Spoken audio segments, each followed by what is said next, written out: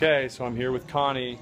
She's the she's the what you're the actual manager here. General manager. General manager, and I'm at the Stockton location. I've been to so many locations over the past day or two. I'm, I can't really remember where I'm where I'm at a lot of times. There's Mia.